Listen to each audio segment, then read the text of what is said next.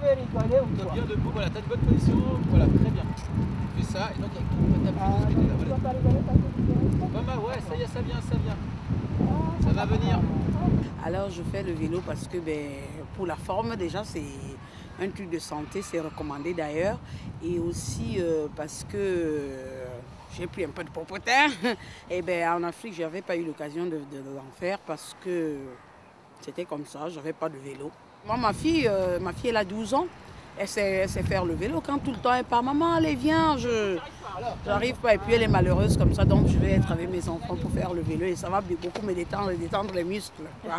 Quand j'ai vu du monde j'étais un peu stressée. Quand je suis arrivée tout de suite, c'était, je savais que je suis chez moi là. J'étais bien, oui c'est comme ça, c'est la confiance aussi. Donc vous sachiez que c'est que la, vé- la vélo-école vient d'une association qui s'appelle Vivre à vélo en ville.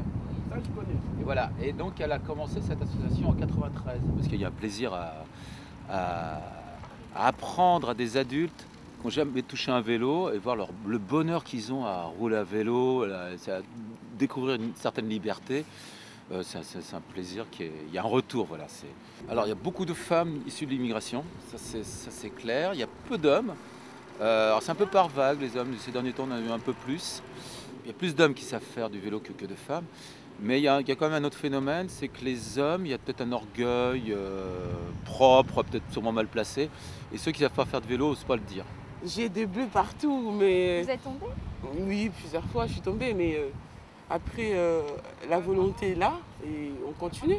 Et euh, après, ce que ça, ça donne un bien-être, un bien-être euh, comme si tu es fou. Ça détend, t'es bien. voilà. Alice, laisse tomber un bras. Euh, C'est devenu la vélo-école la plus importante en France pour adultes. hein. On a appris à plus de 1600 élèves à faire du vélo.